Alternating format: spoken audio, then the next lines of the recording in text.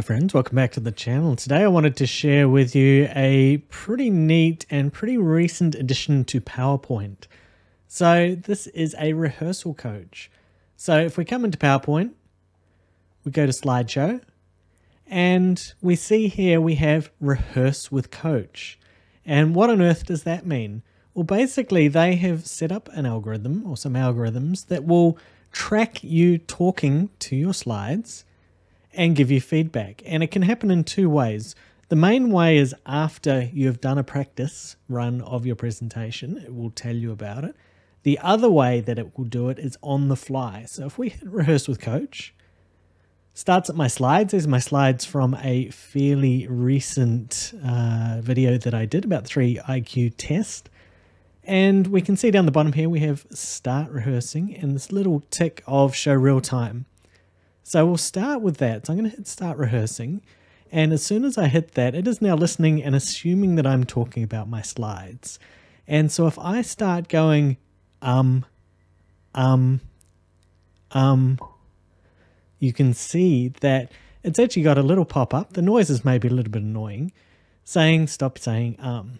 So let's suppose that I was talking through these slides and I started off and maybe I was I've been talking so far at a reasonable pace but I started talking very monotone and then I was very slow and I move to the next slide and keep talking slow.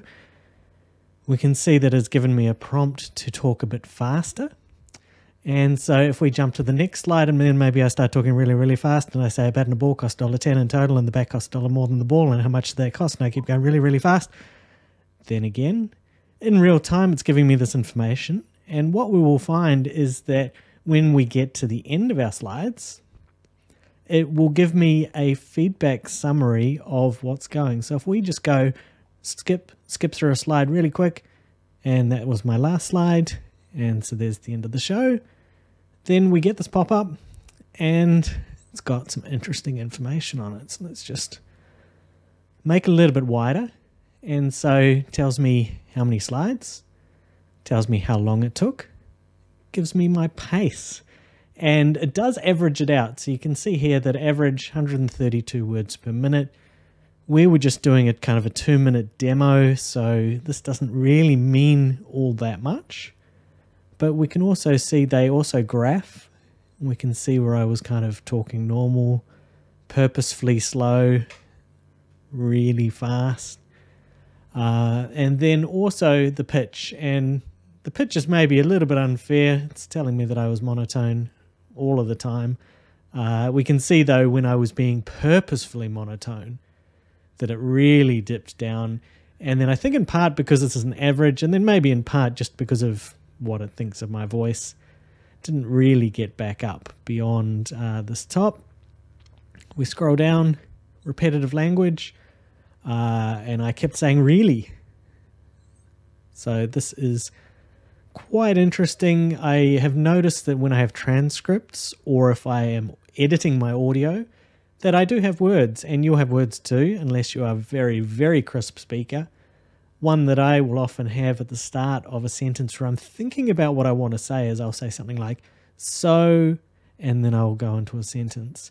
Didn't pick that one up here, uh, but I'm sure if we had a report summary of a lot of my videos, things like so, interesting that really, maybe, try a new word or phrase, sure, mm, not sure about that. Originality, you avoid reading text aloud, so it tells you if you were just reading off the slide. Uh, and we come down, the very last one down the bottom here, inclusiveness. Great job. Your use of inclusive language was excellent.